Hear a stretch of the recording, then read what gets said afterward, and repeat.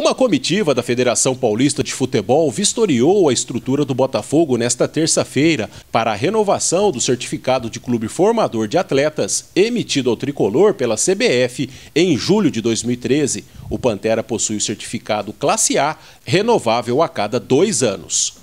Estiveram no estádio Santa Cruz, onde foram recepcionados pelo presidente Gerson Engrácia Garcia e pelo ex-presidente Rogério Bariza, e também no centro de treinamentos Manuel Leão. O vice-presidente de competições da Federação Paulista, Coronel Isidro Suíta Martinez, o vice-presidente regional da FPF, Laerte Alves Júnior, além de outro representante da entidade que fotografou todos os detalhes da estrutura botafoguense.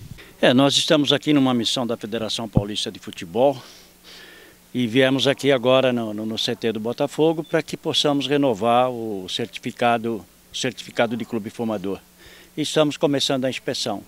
Estivemos há pouco, eu e o Alessio, fazendo uma vistoria no estádio. É, uma, é a intenção da Federação Paulista de Futebol de pegar todos os estádios e fazer um raio-x dele. E solicitar aqueles problemas que a gente, por um acaso, detectar, solicitar aos responsáveis para que façam ou sugerir aos responsáveis para que façam aquilo que é melhor para o futebol. Então esse, esse é o nosso objetivo hoje aqui em Ribeirão Preto. Em relação à renovação do selo de clube formador, é um procedimento normal, né? porque tem uma validade, né?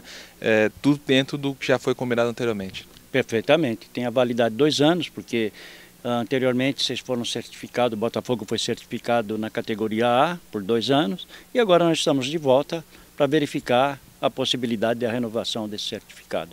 O objetivo é estrutura, condições para os atletas, basicamente isso, né? O primeiro objetivo é as condições de, de estabilidade de todos os atletas, as acomodações, alimentação, né? e depois nós vamos dar uma olhada no campo de jogo. Esse é o objetivo principal, é o bem-estar do atleta. Você falou também sobre relação ao estádio, né? uma outra situação, as condições do do estádio de Santa Cruz.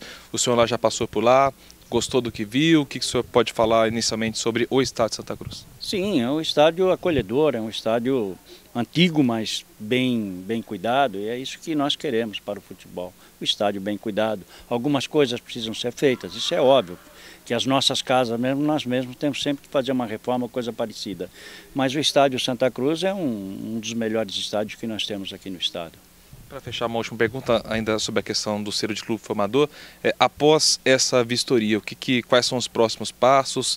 Só a vistoria já garante a renovação? Como é que funciona após esse trabalho de vistoria? Ah, depois da vistoria, nós temos que fazer um relatório daquilo que foi, que foi inspecionado. Em seguida, nós remetemos à, à Confederação Brasileira de Futebol para que ela aprove ou não o nosso relatório.